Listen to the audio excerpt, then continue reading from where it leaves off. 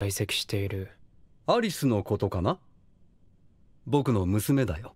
でも娘だからってもちろん特別扱いはしないよ。僕は学校の責任者としてルールを遵守しルールの中で生徒を守る。